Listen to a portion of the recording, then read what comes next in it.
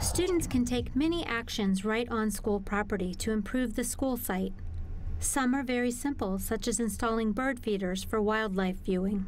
Gardens take more effort, and although they may seem to have obvious benefits, some schools have become creative in their design to get more instructional use out of the work they put in.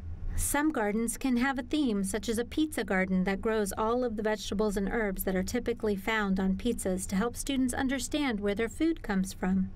There are also historical gardens, such as Three Sisters Gardens, that help teach students American Indian farming practices. Washington Yu Ying School in Washington, D.C. has planted a pollinator garden. Insects, such as monarch butterflies and bees, will gain nutrients from these plants and in return will pollinate plants that humans eat. And did you know that one out of every three bites of food you take relies on a pollinator? True.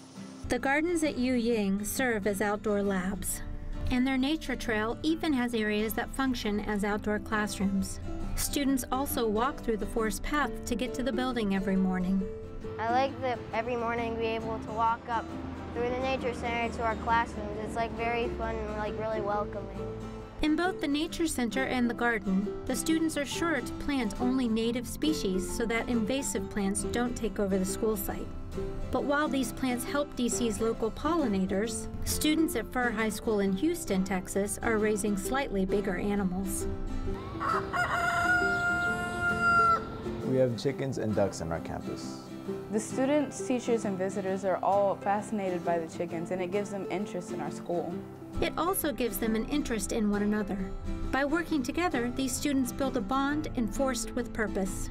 I feel like the students have been really involved, like an icebreaker. The students here are not only fostering livestock, but are in the process of creating a forest right on their school site.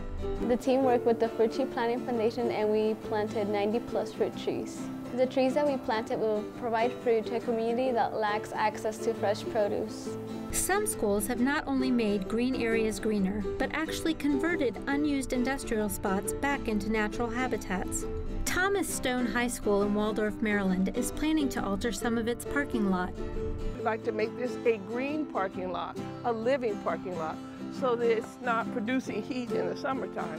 What we would like to do is turn this concrete slab into a stage and build an agora that goes around this whole parking lot, turn that parking lot into a pervious surface. I know right now it looks pretty plain, but what we think we can do is we can take this whole area and turn this into a model uh, environmental entertainment market business that is youth-led. The student-led project teaches community members about their environment and also about youthful leaders. I have made a difference by showing youth that they can share their voice and have important and mind-blowing ideas.